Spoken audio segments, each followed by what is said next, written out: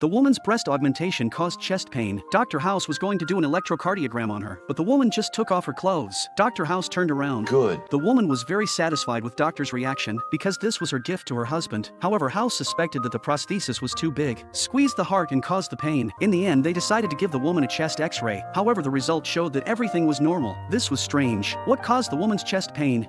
Unexpectedly House's colleague's words gave him another clue. He said woman gave breast augmentation as a gift, which was enough to prove that her husband's interest in her was waning. That was why she did this. It turned out that her husband who had high blood pressure had been taking antihypertensive drugs, which led to sexual dysfunction. The uninformed woman thought her husband was no longer interested in her, so she wanted to please him through breast augmentation. However, the husband was unable to do anything, but as a man he didn't want to admit it. So in order not to disappoint his wife, he could only secretly put the same drug to the wife's food. He wanted to use this method to weaken her wife's desire, but actually this medicine didn't work for women, it would only cause chest tightness. The woman was confused after hearing this. After this how can they live a married